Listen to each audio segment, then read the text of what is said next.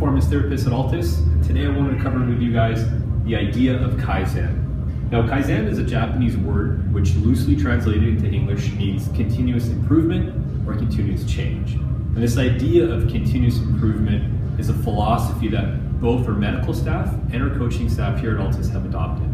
Now, I want to give everyone a little bit of background information of what, what this means and how it applies to what we do. Now, if we go back to the 1980s when Toyota, the car manufacturer, was really taking a stronghold on the market, they had a different approach to their manufacturing processes. If you go back, you can actually start to look and see that the idea of agile or lean manufacturing started in about this era.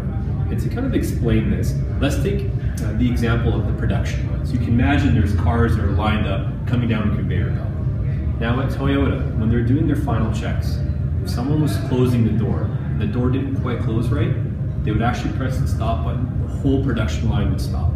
And they would have their engineers or whoever needed to go in and fix that door right there in the spot. And the whole line would start up again. Now, if we contrast that with some other manufacturers, in that same situation, they might actually just take that car, put it aside, and let production continue. The problem with doing something like that is now you have to take extra man hours or extra people to go back to this uh, lot of cars that has something wrong with them, figure out what exactly was wrong with them, and then fix the issue. And that little bit of extra process isn't making what you're doing very efficient. Now I'm going to try to give that example to something you may do, you might think of this as super mundane. But let's look at washing your dishes. Everyone who uses the dishwasher has to put the dishes away once you're done. And to really kind of focus our example here, we'll just look at your cutlery.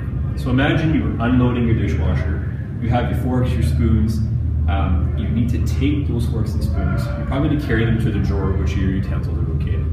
Now you might have to make a few trips back and forth, you probably have to organize your forks and spoons, and at the end of the, end of the day, this takes a certain amount of time.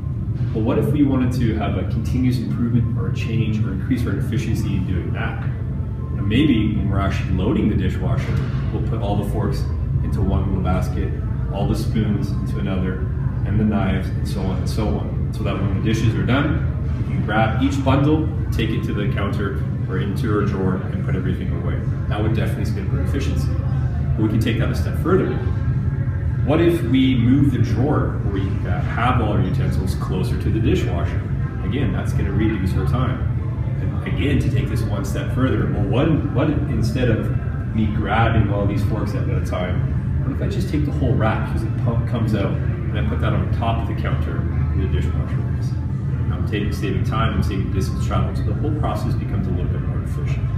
So hopefully that gives you a little bit of an idea of what this idea of continuous improvement or continuous change is. And to bring it back to what we do here from a track and field aspect, let's take an example of a junior and a senior year high school 100 meter sprinter.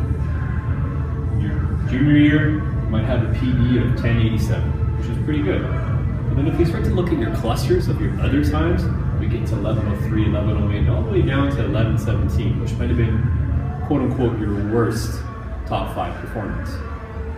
If you then take this idea of continuous improvement to practice, and every day you're in practice, you're going to be mindful and you're going to try to create constant improvement in what you're doing, whether it be drills, whether it be anything else in the weight room. Want to improve on a daily basis what you're doing.